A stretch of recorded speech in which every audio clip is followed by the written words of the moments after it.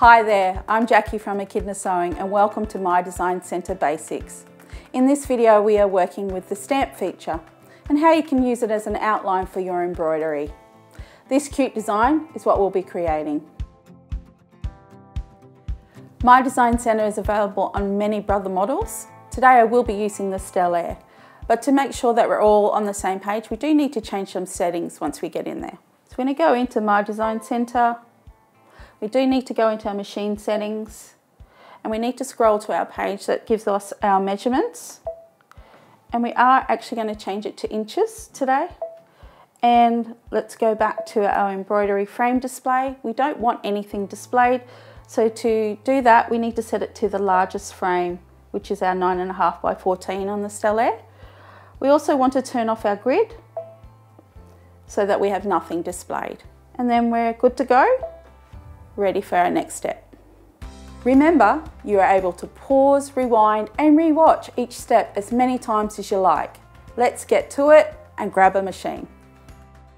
Okay, now we're in the My Design Center. We actually do need to go out of My Design Center first to get our embroidery design that we want to do as a sample.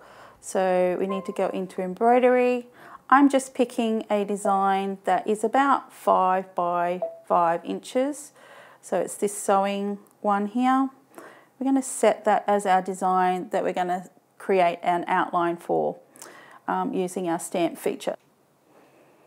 So we go into edit and then we have this symbol here which is a flower and we need to select that and you'll see that it has put an outline around our embroidery. Now I like that outline to be slightly away from our design so we're going to increase the size of it. You can decrease it as well if you wanted to get in closer. We're going up to 5.2. Whoop, a little bit too far. Let's go back one. Okay, so I like how far this outline is from my design. And now we need to select memory to save it to the machine. And it's just telling us here where we can recall the design from. So it is in our shapes section of our My Design Center. So we're going to say OK because we understand where to go. We now need to add that outline to our design. So we need to select add. We go into the My Design Center here. Okay, now we're in the My Design Center. We need to bring in that outline or stamp uh, that we created in the embroidery edit screen. So we need to go into our shapes here. That was the symbol we saw earlier. We need to go into the flower symbol here, which is your stamp. And there we go, there's our outline or stamp that we've created. We go OK. And as you can see, we've brought that through and it does have this red outline around it. That's not a stitch line or anything. It's just a selection box. It allows you to um, be able to use these symbols down here. Um, if I touch off the shape, you'll see that these have all now grayed out. Okay, now I'm going to select a frame outline for the hoop that I'm using. So we need to again go back into our shapes we need to select the frame symbol up the top here. It's a quick and easy way to get that outline. And I'm going to be using the 9.5 by 9.5. And as you can see, there are other options available. We're going to select that one by going OK. Now you can see that there is still that red selection box around that. So at this point, again, I do have these extra options. We are not going to uh, use them at this point, but uh, just something to note, both these outlines actually do not have a stitch uh, allocated to them. So they are actually not going to stitch out. So if I select next, I'll do it again because you hear that knock sound. Um, that means that it's got nothing allocated to those lines to stitch. We're actually just going to fill between these two shapes um, using our fill options here. So we would select our options we need to select our extra fills here because I have a particular fill in mind. I'm going to select and go into our extra ones and here is the shape, the uh, fill type we're going to use which is the crosshatch and OK. Now I'm just going to change the colour to a dark blue so we can see that clearly on the screen and OK. We need to use our bucket because if I have this selected, it'll only change the screen where I touch it. Just going to undo that. So we need to use our paint bucket and we're going to select between the two objects and it fills it instantly, which is great. All right, so now that we've done that, I will be able to go to the next screen because we have allocated a stitch or a fill type in that design. So we've gone to our next screen and this is where we have a few options available to us.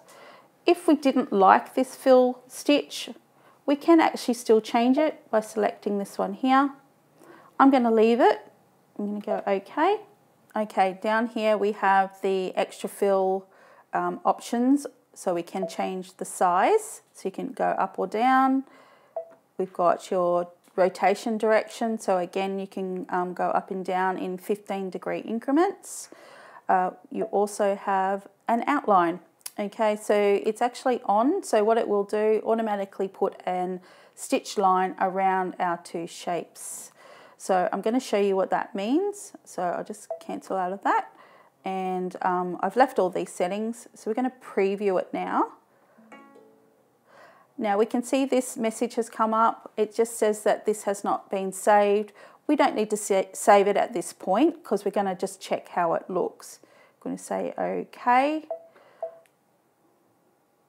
So here on the screen you can see that it has put an outline stitch around our fill that we put on there. Okay, so this you would have seen on on the some of the models already on the other screen. Uh, for the Stella, we do have to go to this separate preview screen. Okay, now I do not want to keep that hard line. Um, for quilting, I like it to be a little bit softer so it doesn't have this hard edge. So we're actually going to take that off. So we're going to return back to our options and where it's got the on, we're going to select that. I'm actually going to turn this off. Oop, did not select, there we go. And we're going to set that now. Now I like to, if I'm happy with it, I like to save the design. So I'm actually going to do that now and save it to the machine.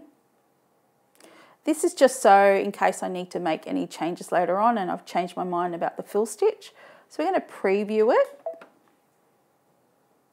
And here you can see now there is no line around our two shapes, which is great. That's exactly what I want.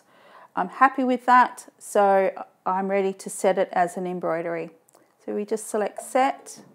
It's going to tell you that it's converting it, which is what we want, and we go OK. And now you can see that it has placed that fill stitch around our lovely embroidery. And we're all done, ready to stitch out. So we've stitched that one out now and it looks great. So we have created this lovely design with the fill stitch. It does stop where we created that nice little outline gap around our embroidery. So very happy with that. I hope you are with yours. Happy stitching and thank you for joining us with our My Design Centre Basics video. See you next time.